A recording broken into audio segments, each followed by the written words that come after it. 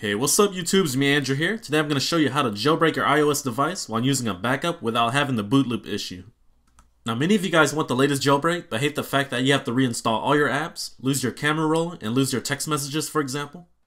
So today I'm going to show you how to jailbreak your iOS 8 device using Pangu 1.1.0.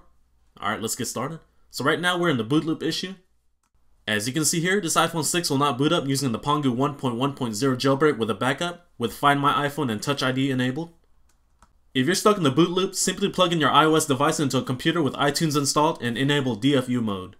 To enable DFU mode, the first thing you want to do is hold the home and power button for 10 seconds. Alright, let's get started. 1, 2, 3, 4, 5, 6, 7, 8, 9, 10, and release. Continue holding the home button for 10 seconds and then you'll get an alert on your laptop showing you that you're in DFU mode. And there it is. Next up, restore your iOS device to 8.1. After restoring your device, you may be asked to activate your iPhone if you had Find My iPhone enabled. Do not jailbreak your device yet. Let's go ahead and set it up. Let's enable location services, set up as new iPhone, skip this step. Let's go ahead and agree to the terms. Agree. Set up Touch ID later. Don't add passcode. We'll add that in later. Let's use Siri.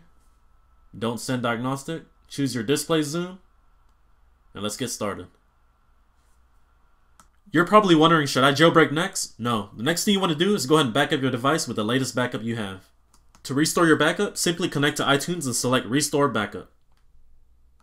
In the past, you would always jailbreak first and then restore your backup. But for some reason, Pangu 1.1.0 and Cydia 1.1.15 is causing the boot loop issue when doing this method.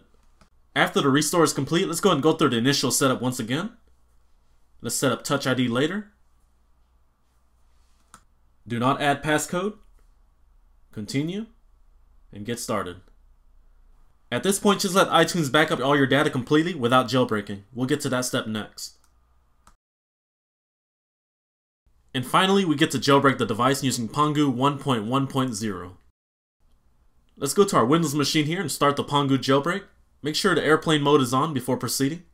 At the time of this video, the Mac version is not available. However, the Pangu team has announced they are working on it soon. After the jailbreak is complete, go ahead and launch Cydia and let it prepare your file system. This usually takes about a minute or two.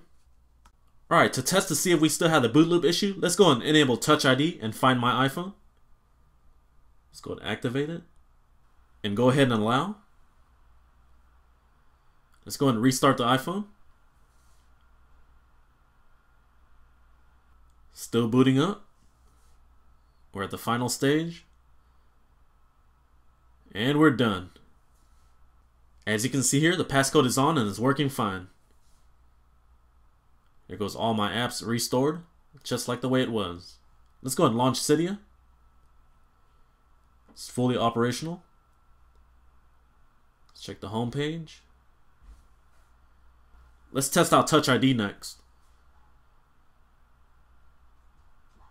And boom, it's working.